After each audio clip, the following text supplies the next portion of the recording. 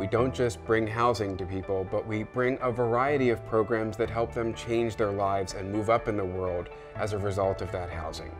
So being green is just another way to be holistic. Welcome to Solara!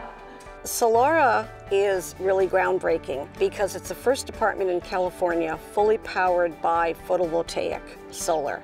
Being green here, we don't have to pay for electricity and everything due to all the solar panels that are on all the houses. Through the energy savings I have, I could pay off my student loan I could um, have my daughter do extra extracurricular activities.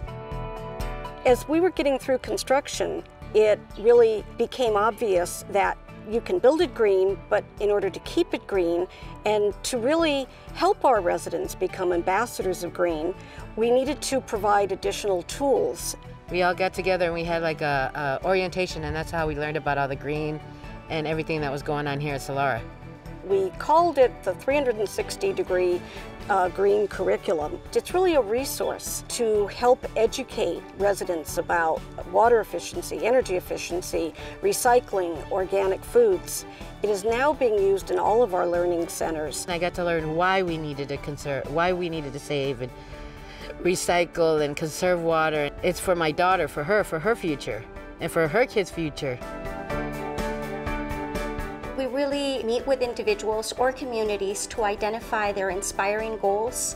We provide powerful tools and we really help them reach and, and identify action steps to be able to realize their goals. If you're a consumer going through our programming, you have learned ways that you can save money by being green. With the energy efficiency things that they did to my house, it really helped cut down on having to run the air conditioning all the time. And so it's really helped my budget a lot. They also did an energy efficiency loan for me, which really helped on my energy bills. It's absolutely making a, a, a huge difference, especially in our learning communities. We have been a catalyst uh, across California and across the U.S. to help other people look at building sustainably and realizing it can be done, it is not more expensive. I think we really helped that mission. We were really pleased to see that NeighborWorks found a way to recognize and designate organizations like us that take being green so seriously and that have gone so far as to put green on the list for every single program.